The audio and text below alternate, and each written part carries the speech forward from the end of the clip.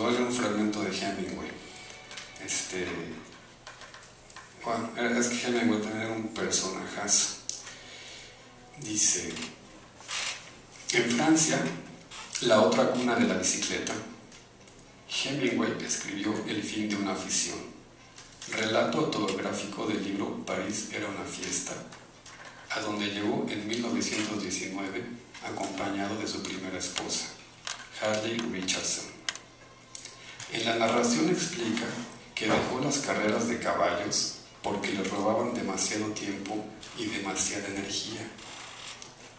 Cito a Hemingway, dice, por entonces ya había descubierto todo, que todo lo bueno y lo malo deja un vacío cuando se interrumpe.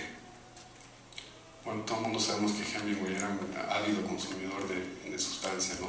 era un gran bebedor y, y etc. Si se trata de algo malo, el vacío va llenándose por sí solo, mientras que el vacío de algo bueno solo puede llenarse descubriendo algo mejor.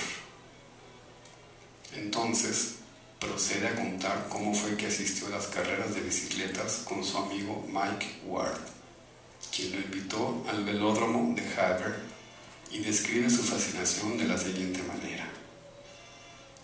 Algún día lograré meter en unas páginas la pista de madera y sus empinados virajes, y el zumbido de los tubulares cuando pasaban los ciclistas, y el esfuerzo y las tácticas y los corredores desviándose arriba o abajo de la pista, convertidos en una parte de sus máquinas, con sus cascos ligeros que se, que se pegaban a los manillares, sus piernas que hacían girar a gran velocidad los pedales y las ruedas.